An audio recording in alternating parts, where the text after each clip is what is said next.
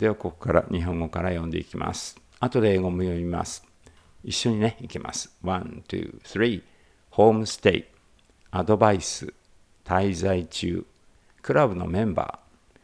彼は私のゲストです。しなければならない。ルールに従う。その本を持っていれば。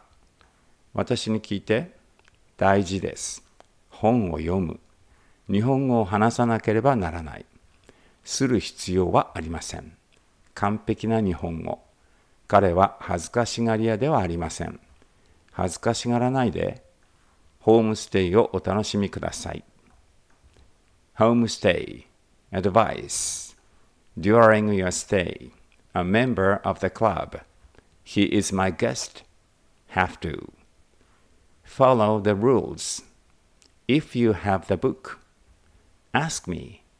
It is important to read book. Have to speak Japanese. Do not have to.